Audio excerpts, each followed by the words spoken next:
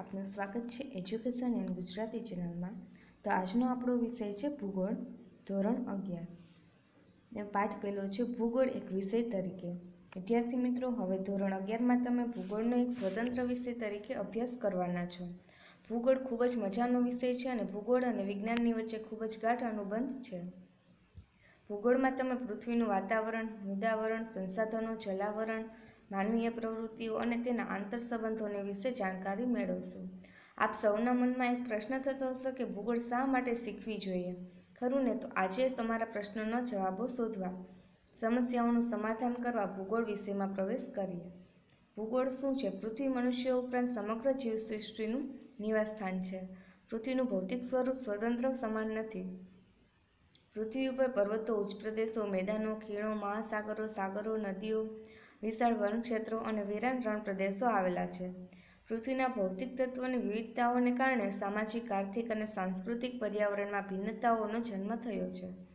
સાંસ્કૃતિક વિકાસની લાંબી યાત્રાના કારણે માનવ દ્વારા ગામડા, શહેરો, બજારો, રેલમાર્ગો સડક માર્ગો ઔદ્યોગિક એકમો, બંદરો વગેરે અનેકવિધ સાંસ્કૃતિક વૈવિધ્યવાળું પર્યાવરણ નિર્માણ પામ્યું છે. કેટલાક પ્રદેશોમાં માનવી પ્રતિકૂળ ભૌગોલિક પરિસ્થિતિને આધીન બન્યો છે, તો કોઈ પ્રદેશમાં તેણે પરિસ્થિતિને પોતાના પરિશ્રમ, બુદ્ધિ અને વૈજ્ઞાનિક સંશોધનોથી પોતાને અનુકૂળ બનાવી છે. પૃથ્વી સપાટી ઉપર આવેલા ભૌતિક તત્વો અને માનવીય તત્વોની ભિન્નતાઓનો અભ્યાસ ભૂગોળ વિષયમાં થાય છે. ભૂગોળ માટે જિયોગ્રાફી શબ્દ સૌપ્રથમ ઈસવીસન પૂર્વેની બીજી સદીમાં ગ્રીક ભૂગોળવિદ ઇરેટોસ્થિનીસે પ્રયોજ્યો હતો લેટિન ભાષામાં જીઓનો અર્થ પૃથ્વી અને ગ્રાફિયા એટલે કે વર્ણન કરવું. તેથી ભૂગોળ એટલે પૃથ્વીનું વર્ણન કરનાર વિજ્ઞાન. ભૂગોળનો શાબ્દિક અર્થ પૃથ્વીનું વર્ણન એવો થાય છે, પૃથ્વી સપાટીનું પદ્ધતિસર વર્ણન કરતું વિજ્ઞાન એટલે ભૂગોળ. પૃથ્વીના જે પ્રદેશોનો અભ્યાસ કરવાનો હોય તેના સ્થાન, ભૂપૃષ્ઠ, આબોહવા, વનસ્પતિ પ્રાણી સૃષ્ટિ ખેતી તથા બાગાયતી પાક, ખનિજો, સંસાધનો, ઉદ્યોગો, પરિવહન તેમજ એ પ્રદેશમાં વસવાટ કરતા માનવ સમુદાય અને તેની પ્રવૃત્તિઓ વગેરે વિશે વ્યવસ્થિત માહિતીનો સમાજ ભૂગોળમાં કરવામાં આવે છે.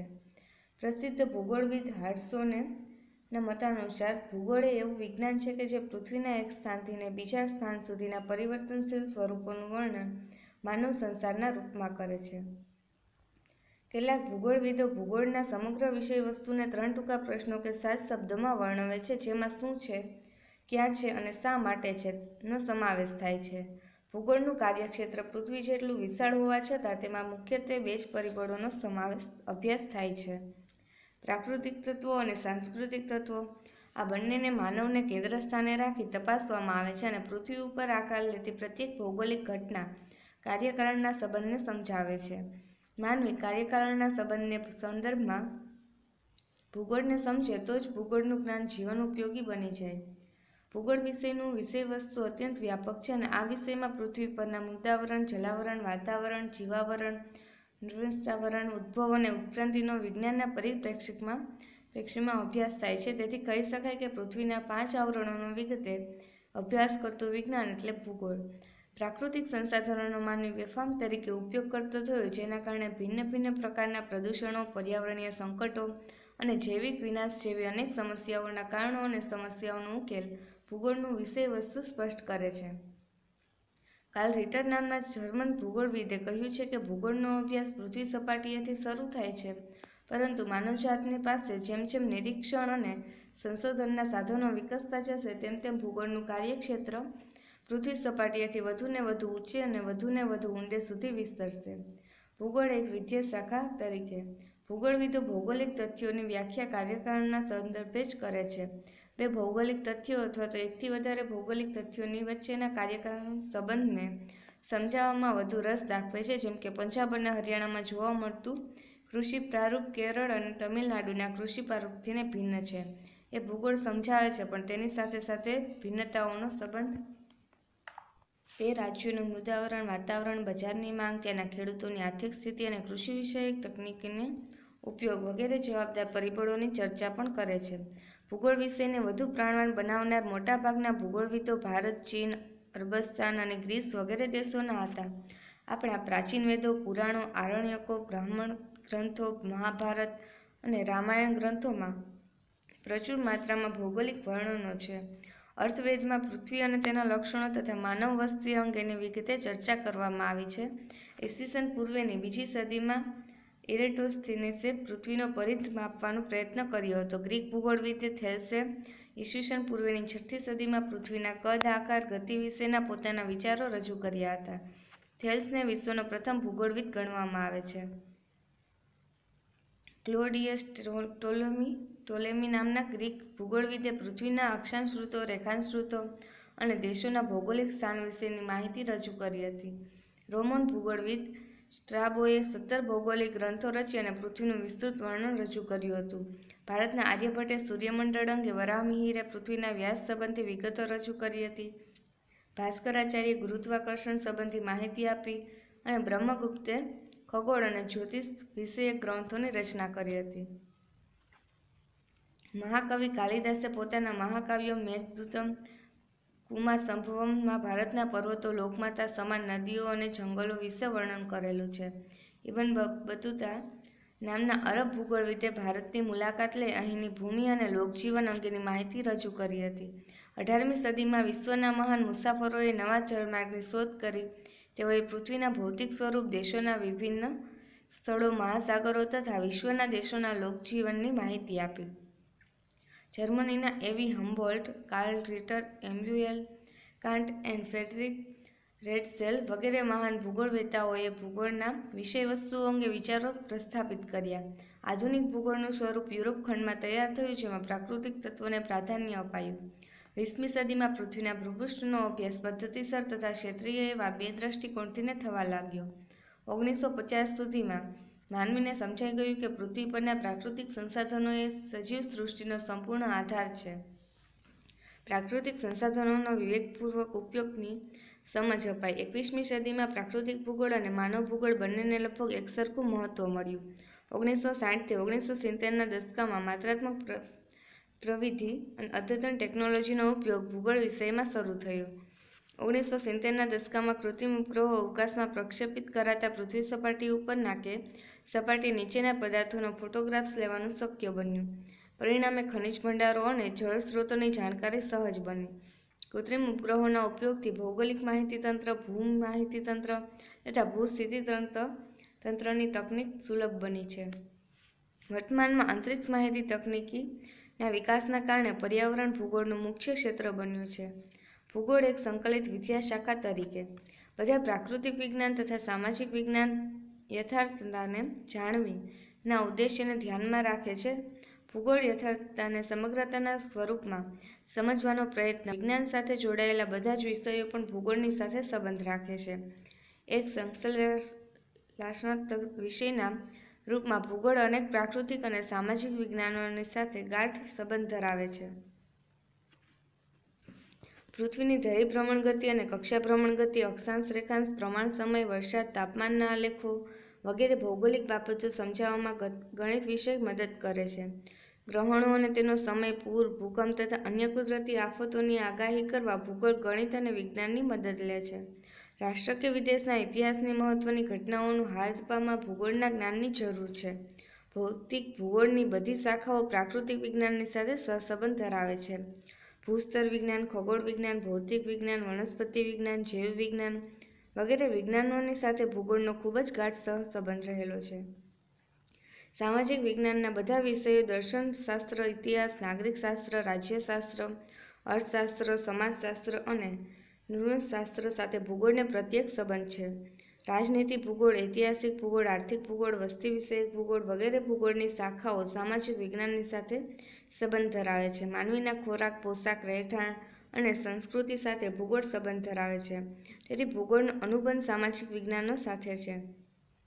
પરિવહન, દૂરસંચાર, ઉદ્યોગો અને ખેતી વગેરે માનવીની આર્થિક પ્રવૃત્તિઓનો ભૂગોળ અભ્યાસ કરે છે. આમ ભૂગોળ અર્થશાસ્ત્રની સાથે ઘનિષ્ઠ સંબંધ ધરાવે છે. નકશા વાંચન, નકશાપૂર્ણી તેમજ અક્ષાંશ રેખાંશની ગણતરી માટે ભૂમિતિના જ્ઞાનનો આધાર અનિવાર્ય છે. પ્રત્યેક વિષયને પોતાનું તત્વજ્ઞાન હોય છે, જે વિષય માટેની પાયાની ભૂમિકા અદા કરે છે. તત્વજ્ઞાન ભૂગોળના ક્રમિક વિકાસ માટે સ્પષ્ટ ઐતિહાસિક ભૂમિકા ભજવે છે. ભૌગોલિક ચિંતનનો ઇતિહાસ તૈયાર કરવામાં તત્વજ્ઞાન ભૂગોળ વિષયને સહાયક બને છે. સમય સંશ્લેષણ માટે ભૂગોળ ઇતિહાસની મદદ મેળવે છે. રાજ્ય વ્યવસ્થાઓ, રાજ્યોનો વિસ્તાર, વસ્તી, ભિન્ન ભિન્ન સંગઠનો વગેરેના વિશ્લેષણ માટે ભૂગોળ રાજનીતિ વિજ્ઞાન પાસેથીને આધાર મેળવે છે. વ્યક્તિમાં આંતરરાષ્ટ્રીય સમજ વિકસે, વિશ્વ બંધુત્વ અને વૈશ્વિક સંગઠનો પ્રત્યેની ફરજો વિકસે તે માટે ભૂગોળ પોતાનો અનુબંધ નાગરિક શાસ્ત્ર સાથે જોડે છે. આમ ભૂગોળ પ્રાકૃતિક તેમજ સામાજિક વિજ્ઞાનોની સાથે પોતાનો સંબંધ પ્રસ્થાપિત કરે છે.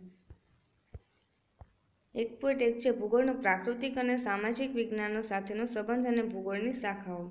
ભૂગોળમાં ભૂપૃષ્ઠના અભ્યાસ માટે બે અભિગમો છે. પહેલું છે ક્રમબંધ અથવા તો પદ્ધતિસર અભ્યાસનો અભિગમ. બીજું છે પ્રાદેશિક અભિગમ. પહેલું છે ક્રમબંધ અથવા તો પદ્ધતિસર અભ્યાસનો અભિગમ. આ અભિગમ સામાન્ય ભૂગોળનો છે. જર્મન ભૂગોળવિદ એલેક્ઝાન્ડર વોન હોમબોલ્ટ આ અભિગમના પ્રવર્તક છે.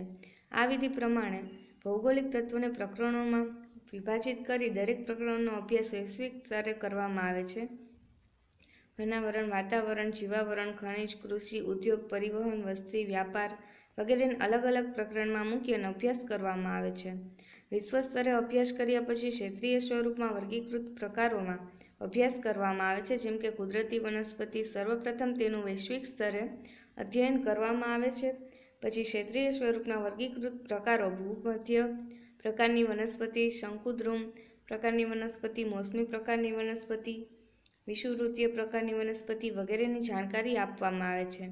પદ્ધતિસરના અભ્યાસમાં સમગ્ર પૃથ્વીને તેના અંશોનો અભ્યાસ કરવામાં આવે છે.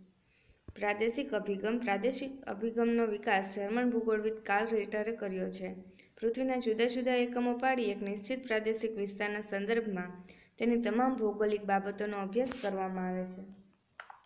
દક્ષિણ અમેરિકામાં એમેઝોનનો ખીણ પ્રદેશ, આફ્રિકામાં કોંગો નદીનો ખીણ પ્રદેશ, મલેશિયા, ઇન્ડોનેશિયા, ફિલિપિન્સના દ્વીપ સમૂહો વગેરેને એક પ્રાકૃતિક પ્રદેશમાં જોડીને વિષુવવૃત્તીય જંગલોનો પ્રદેશ તરીકે તેનો અભ્યાસ થાય છે.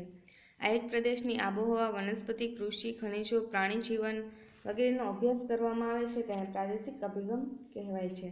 ભૂગોળની શાખાઓ પદ્ધતિસર અભિગમને આધારે તેમાં છે ભૌતિક અને સિદ્ધાંત, દર્શનશાસ્ત્ર, ભૌગોલિક ચિંતન અને માનવ પરિસ્થિતિકીય ભૂમિ અને માનવ પારસ્પરિક ક્રિયા ક્રિયા અને તકનિકમાં છે અને માનવ નકશા નિર્માણ અને ક્ષેત્ર અધ્યયન, માત્રાત્મક ભૂગોળ અને ભૌગોલિક માહિતી એમાં છે જીઆઈએસ જીપીએસ એલઆઈએસ જૈવિક ભૂગોળમાં સમુદ્ર વિજ્ઞાન, આબોહવા વિજ્ઞાન, એમાં છે ભૂ સ્વરૂપ વિજ્ઞાન અને જમીન ભૂગોળ, વનસ્પતિ ભૂગોળ અને પ્રાણી ભૂગોળ, પારિસ્થિતિક ભૂગોળ અને પર્યાવરણીય ભૂગોળ, ત્યારબાદ છે સામાજિક તેમજ સાંસ્કૃતિક ભૂગોળ, વનસ્પતિ ભૂગોળ, વસ્તી ભૂગોળ, આર્થિક ભૂગોળ, ઐતિહાસિક ભૂગોળ, રાજકીય ભૂગોળ, ગ્રામીણ ભૂગોળ, તબીબી ભૂગોળ અને શહેરી ભૂગોળ.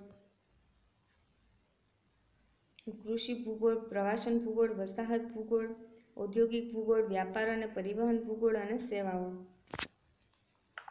પદ્ધતિસર અભિગમના આધારે ભૂગોળની શાખાઓ, એમાં છે પહેલું છે ભૌતિક ભૂગોળ. ભૌતિક ભૂગોળને પાંચ પેટા વિભાગોમાં વહેંચવામાં આવે છે. પહેલું છે ભૂસ્વરૂપ વિજ્ઞાન કે શાસ્ત્ર. બીજું છે આબોહવા વિજ્ઞાન. ત્રીજું છે સમુદ્ર વિજ્ઞાન. ચોથું જમીન વિજ્ઞાન. અને પાંચમું છે જળ વિજ્ઞાન. ભૂ સ્વરૂપ વિજ્ઞાનમાં પૃથ્વી સપાટી સ્તરના ભૂસ્વરૂપ, ભૂમિ સ્વરૂપો, તેમનું વિતરણ, ઉત્પત્તિ અને પ્રકાર વિશે માહિતી આપવામાં આવે છે. આબોહવા વિજ્ઞાનમાં વાતાવરણના સ્તરો ઋતુઓ આબોહવાના ઘટકો અને તત્વો જેવા કે તાપમાન, હવાનું દબાણ, પવનો, વૃષ્ટિ, વાદળો, ચક્રવાત તથા સ્થાનિક પવનો વગેરેનો અભ્યાસ થાય છે. સમુદ્ર વિજ્ઞાન મહાસાગરોની ઉત્પત્તિ, ભરતીઓટ મહાસાગરોની ઊંડાઈ તેના સ્થાન, મહાસાગરોના પ્રવાહો સમુદ્ર તટનું ભૂપૃષ્ઠ. સમુદ્રજળની ક્ષારતા ઉપરાંત મહાસાગરોની માનવ જીવન ઉપર અસરોનો અભ્યાસ કરે છે. જમીન વિજ્ઞાનમાં જમીનના પ્રકાર, નિર્માણ, વિતરણ, તેના લક્ષણો અને તેની ઉપયોગિતાનો અભ્યાસ થાય છે. જળ વિજ્ઞાન મહાસાગરો, સમુદ્રો, નદીઓ, સરોવરો, હિમનદીઓ વગેરે જળરાશિ ભૂમિકાનો અભ્યાસ કરે છે. માનવ ભૂગોળ. પ્રકૃતિ અને માનવીના પરસ્પરના સંબંધોના કારણે ગામડા, કસ્બા, શહેરો, દેશ, કારખાના, સડકો, રેલમાર્ગો, રહેઠાણ વગેરેના સાંસ્કૃતિક લક્ષણો કે વિશેષતાઓ તથા તેમના વિતરણનો અભ્યાસ માનવ ભૂગોળમાં થાય છે. સાંસ્કૃતિક ભૂગોળ, સામાજિક ભૂગોળ, વસ્તી વિષયક ભૂગોળ, ગ્રામીણ ભૂગોળ, શહેરી ભૂગોળ, આર્થિક ભૂગોળ, ઔદ્યોગિક ભૂગોળ, કૃષિ ભૂગોળ, વ્યાપાર અને પરિવહન ભૂગોળ અને રાજકીય ભૂગોળ વગેરે માનવ ભૂગોળની મુખ્ય વિષય શાખાઓ છે. માનવ વિકાસના આડે આવતા ભૌગોલિક પરિબળો અને ભૌગોલિક સમસ્યાઓ સમજાવે છે. તેના ઉપાયો વિશે ચર્ચા કરે છે. વિલાડ દલાસ બ્લાસના મતાનુસાર માનવ ભૂગોળમાં પૃથ્વીને નિયંત્રણ કરનારા ભૌતિક નિયમો તથા પૃથ્વી ઉપર વિકાસ કરનાર સજીવોના પારસ્પરિક સંબંધોનું સંયુક્ત જ્ઞાન સમાવિષ્ટ છે. પ્રવૃત્તિશીલ માનવ અને ગતિમાન પૃથ્વીના પારસ્પરિક બદલાતા સંબંધોનું અધ્યયન એટલે કે માનવ ભૂગોળ. એલન સેમ્પલ ત્રીજું છે જૈવિક ભૂગોળ, ભૌતિક ભૂગોળ અને માનવ ભૂગોળના આંતરસંબંધોમાંથી જૈવિક ભૂગોળનો જન્મ થયો છે. પ્રાણી ભૂગોળ, વનસ્પતિ ભૂગોળ, પારિસ્થિતિક અને પર્યાવરણ ભૂગોળ જૈવિક ભૂગોળની શાખાઓ છે. પ્રાણી ભૂગોળ વિવિધ પ્રકારના પ્રાણીઓ, જીવજંતુઓ તથા સૂક્ષ્મ જીવાણુઓના વિતરણ અંગેની માહિતી આપે છે.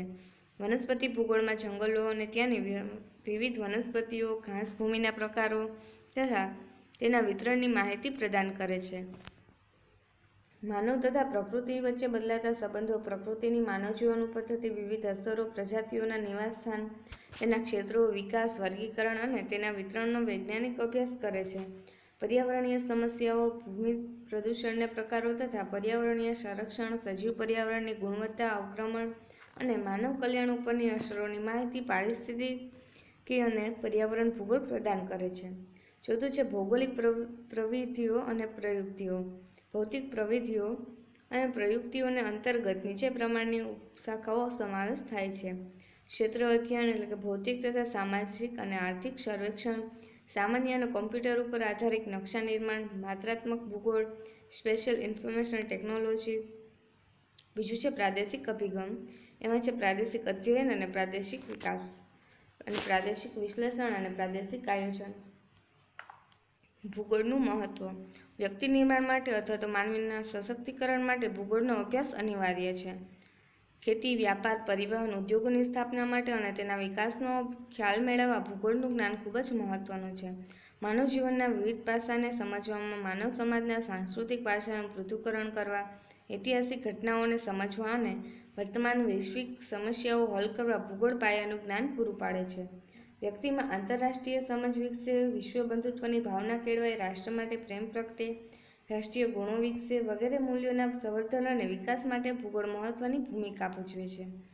રાષ્ટ્રીય અને આંતરરાષ્ટ્રીય સમસ્યા સમસ્યા ઉકેલવી હોય તો ભૂગોળનું જ્ઞાન અનિવાર્ય છે. પ્રત્યેક વિષયના અધ્યયન પાછળ કેટલાક લક્ષ્યો અને ઉદ્દેશ્યો હોય છે. ભૂગોળ એક ગત્યાત્મક વિષય છે. તેના વિષય વસ્તુનો વિકાસ વૈજ્ઞાનિક આધારે કરવામાં આવ્યો છે. ભૂગોળના અધ્યયનથી આપણામાં ઘણી ક્ષમતાઓ અને કૌશલ્યો વિકસે છે. પ્રવાસ પ્રદર્શન, વાર્તાલાપો સમજી શકીએ છીએ. પત્રમેત્રી બાંધવાની સૂઝ કેળવાય છે. નકશા વાંચન નકશાપૂર્ણી, વરસાદનું મહત્ માપન, તાપમાનનું માપન, ભૂકંપની તીવ્રતાનું માપન, હવાના દબાણનું માપન વગેરે પ્રકારની ક્ષમતાઓ વિકસાવવામાં ભૂગોળ ટેકણ લાકડીની ભૂમિકા ભજવે છે. પ્રાકૃતિક સંસાધનો વિશે આપણામાં સ્વસ્થ દ્રષ્ટિકોણ ઉત્પન્ન થાય છે અને સંસાધનોનો વિવેકપૂર્ણ ઉપયોગ કરવાની સૂઝ પેદા થાય છે. મૃદાવરણ, વાતાવરણ, જલાવરણ અને જીવાવરણ સંબંધિત વિશેષતાઓ અને વિવિધતાઓની જાણકારી ભૂગોળ આપે છે, જેથી વ્યક્તિની પોતાની સ્વાભાવિક જિજ્ઞાસાવૃત્તિ સંતોષાય છે. ભૂગોળના વિવિધ પ્રકારના નકશા પૃથ્વીનો ગોળો અને પ્રાકૃતિક તથા ભૌતિક તત્વોના નિરીક્ષણની કળા વ્યક્તિમાં વિકસે છે. ભૌગોલિક ઘટનાઓ થકી કાર્યકારણ સંબંધ કેળવવાની માનસિક ક્ષમતા કેળવાય છે. વ્યાપાર, સંરક્ષણ, પ્રવાસ ઉદ્યોગ, ખેતી અને પશુપાલન માટે ભૂગોળનું જ્ઞાન એ એક વ્યવહારિક જરૂરિયાત છે. વિશ્વના દેશો દેશો વચ્ચેના આંતર અવલંબનની સમજ ભૂગોળ આપે છે. આપણા ઘણા ઉત્સવો અને સામાજિક રીત રિવાજોની પશ્ચાતભૂમિમાં આપણી ભૂગોળ છે. ભૌતિક ભૂગોળના અભ્યાસ વડે માનવીની આર્થિક પ્રવૃત્તિઓ, સિદ્ધિઓ અને નિષ્ફળતાઓ જાણી શકાય છે.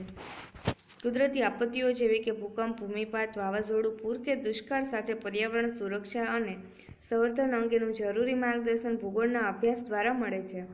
વૈશ્વિક સમસ્યાઓ જેવી કે ઊર્જા અને જળ સંરક્ષણ, પર્યાવરણ જતન, પ્રદૂષણ નિયંત્રણ અંગેનું જરૂરી જ્ઞાન ભૂગોળના અભ્યાસ વગર અધૂરું છે. વધતી વસ્તી અને ઘટતી વસ્તી, ગરીબી, આતંકવાદ જેવા પ્રશ્નોના નિરાકરણ કે ઉકેલને માટે પણ ભૂગોળનું જ્ઞાન આવશ્યક છે. વસુદેવ કુટુંબકમ અર્થાત સમગ્ર વિશ્વ એક પરિવાર કે કુટુંબ છે તેવી ભાવના ભૂગોળના અભ્યાસ દ્વારા જ ચરિતાર્થ થાય છે. વ્યક્તિમાં સૂક્ષ્મ અવલોકન કરવાની, તારણો કાઢવાની, નિર્ણયો કરવાની અને યોગ્ય અભિપ્રાયો બાંધવાની વગેરે માનસિક શક્તિઓનો વિકાસ ભૂગોળ દ્વારા સરળ બને છે. ભૂગોળ નાગરિકને વિશ્વ નાગરિક બનાવે છે, રાષ્ટ્રીય સમસ્યાઓ સમજી અને તેને ઉકેલવામાં નાગરિક પોતાનું યોગદાન આપી શકે તે માટે ભૂગોળનું જ્ઞાન ખૂબ જ મહત્વનું છે. વિદ્યાર્થી મિત્રો, આ પ્રકરણ દ્વારા ભૂગોળના સમગ્ર વિષય વસ્તુથી તમે વાકેફ બન્યા છો. હવે પછીના પ્રકરણોમાં આપણે ભૌતિક ભૂગોળ ક્રમશઃ શીખવાના છે. દરેક પ્રકરણના અંતે આપેલા સ્વાધ્યાય પ્રશ્નો તમારી જિજ્ઞાસા વૃત્તિને સંતોષ આપશે અને તમારી અભ્યાસ વિષયક સિદ્ધિઓને ઊંચે લઈ જવામાં મદદરૂપ બનશે. તો મિત્રો, આવો આપણે ભૂગોળને ખૂબ જ રસપૂર્વક અને જિજ્ઞાસાની સાથે શીખીએ.